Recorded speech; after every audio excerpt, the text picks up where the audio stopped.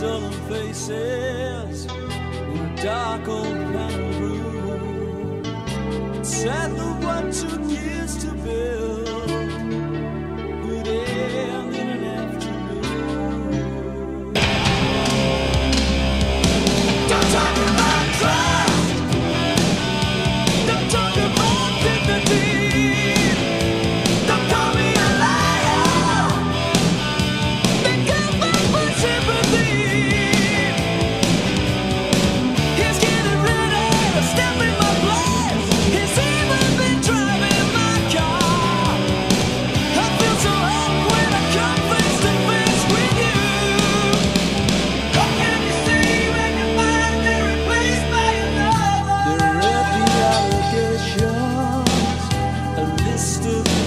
inside